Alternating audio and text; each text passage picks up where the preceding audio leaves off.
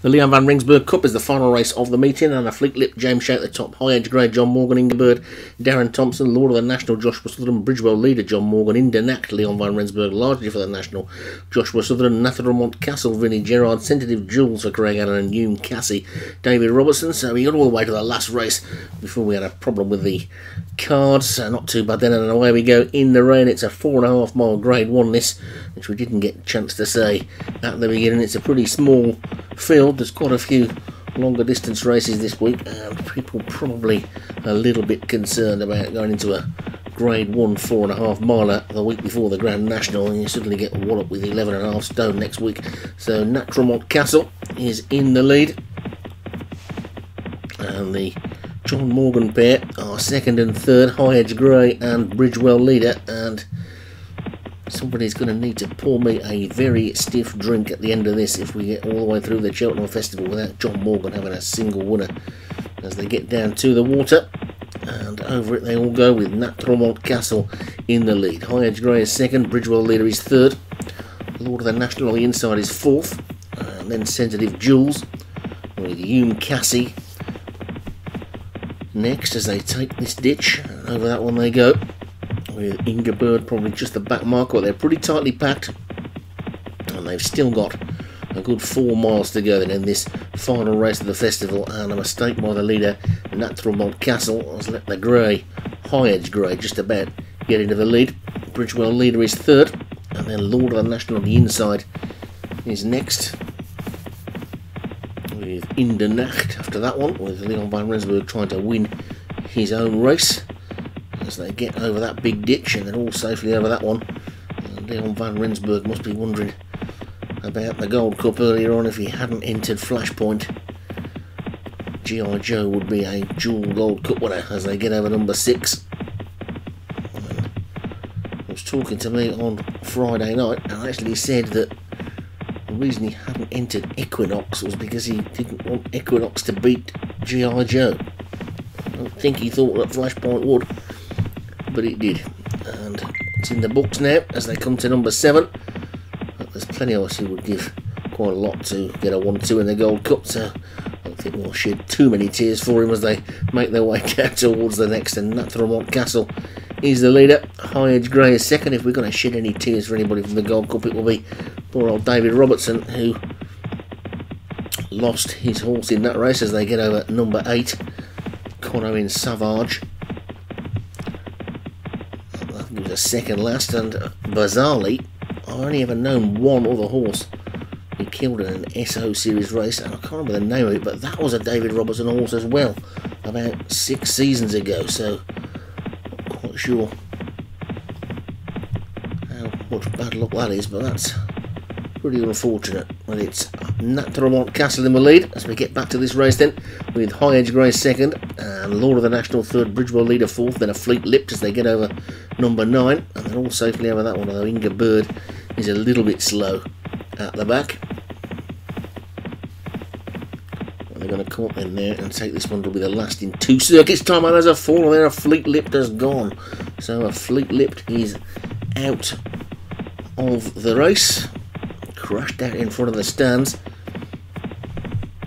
And Natural Castle continues to lead from High Edge Grey second, Lord of the National third, Indernacht is fourth, and then Bridgewell leader. Then Hume, Cassie and Sensitive Jules, largely for the National, and finally Inga Bird. So racing down the back straight again then now. Take a look at them from the other side of the track.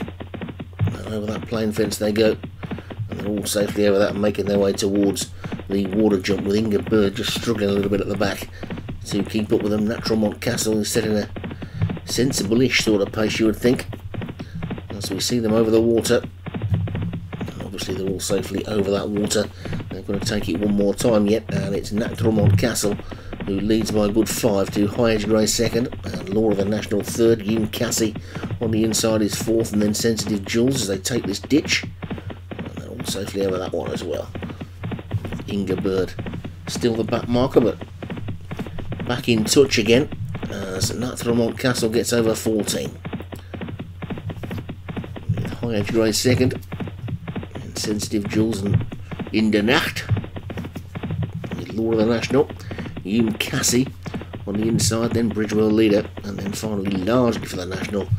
And Inga Bird just the back marker. So this is the 15th and it's a big ditch and that's the midway point in the jumping. And that Tremont Castle's lead is probably up to 7 or 8 now. Well, on the outside has moved into second. High Edge Grey is third. This is a plain one. And the leader stood off it but got over it okay. And was safely over number 16 and making their way down towards the 17th. Racing downhill. Then Natromont Castle clear in the lead. As it has been throughout. Edge Grey in second. Sensitive Jules moved up on the outside in third. And Lord of the National fourth. As they come to the next. I see them all over that. Hume Cassie was just a little bit slow. You can see Inga Bird is making a nice little move around the outside now. But Naturalmont Castle is seven clear of the grey high edge grey. Sensitive Jules in the green and the yellow, and in between the two of them, Lord of the Nationals, they come to the 18th. And over that one they go, and the grey Bridgewell leader and, sorry, the grey high edge grey and Bridgewell leader, the two John Morgan horses, both made mistakes at that one. And Naturalmont Castle continues to show the way home. There's still a complete circuit to go yet. Plus the fence in the straight.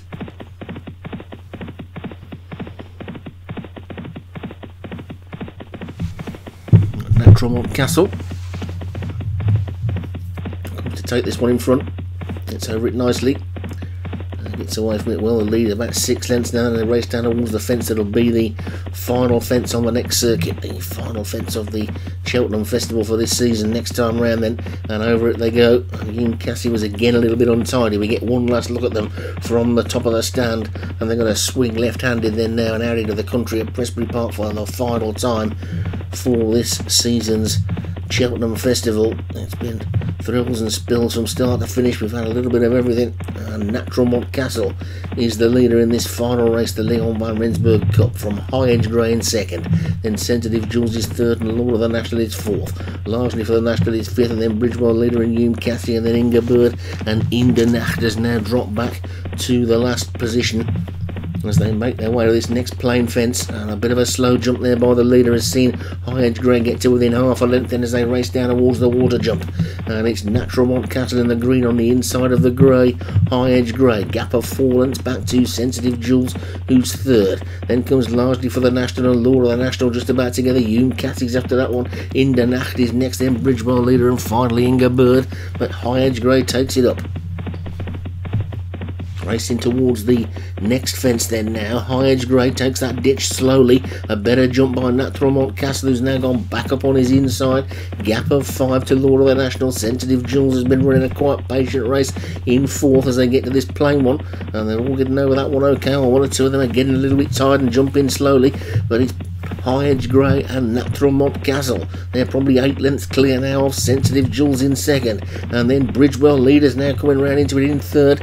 And it's after that one largely for the National and Lord of the National. Gap back to Hume Cassie. Indernacht got work to do over the oh, big ditch. There they go. And it's still Natural Naturalmont Castle and High Edge Grey who are disputing the lead. But Bridgewell leader and Sensitive Jules are running on to try and join them. Then come the Sutherland pair largely for the National and Lord of the National over that one. Naturalmont Castle made a mistake. They've only got four more fences to take then now, and High Edge Grey has gone too clear, and Sensitive Jules is in hot pursuit, moves into a clear second. Naturalmont Castle is now beginning to weaken. Then comes Bridgewell leader trying to run on Lord of the National, largely for the National leader into Nat Hume Cassie and Inga Bird over the fourth last they go, and it's Sensitive Jules has gone on. Sensitive Jules has taken it up from High Edge Grey in second. Bridgewell leader's about to move into third, then Lord of the National, largely for the National. Coming down towards the third last fence now then, and it's Sensitive Jules too clear of High Edge Grey and Bridgewell leader. Over the third last they go, and a mistake there by Bridgewell leader. Shorting looked on his chances, no good. It's Sensitive Jules in front from High Edge Grey, lastly for the National, Lord of the National. Bridgewell leader trying to run back on again. They're coming down towards the final two fences now then in this final race of the Cheltenham Festival, and it's High Edge Grey who's gone back into the lead from Sensitive Jules, then Lord of the National, then lastly for the National. These are clear of Indernacht who's trying to run on Hugh Cassian Ingerbird and Natural Montcastle is now well beaten. It's High Edge Grey coming down towards the second last fence with a lead of two lengths from Lord of the National, who jumps it better. Sensitive Jules is trying to get back into it. Natural Montcastle's gone at the back. It's High Edge Grey in the lead, but only by half a length coming down towards this final fence. It's High Edge Grey and lead, jumps it slowly. Lord of the National, largely for the National now, beginning to take it up. It's largely for the National on the outside. Lord of the National, Bridgewell leaders trying to get back into it. So too is Sensitive Jules. It's another ding dong battle at the finish. It's going to be Lord of the National from Bridgewell leader. Lord of the National by a neck. Bridgewell leader trying to close. It's Lord of the National that's going to take it, I think, as they race up towards the line. Lord of the National wins it from Bridgewell leader second. Largely of the National then.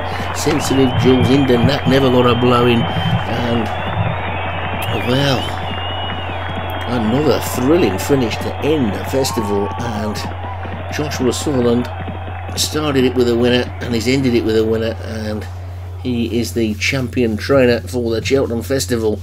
And not much of a shock there, but the big shock for me is John Morgan not getting a winner at all. And the full result, to be fair to John, though, he's not had that many runners. Lord of the National, the winner then for Joshua Sutherland. Bridgewell leader for John Morgan second.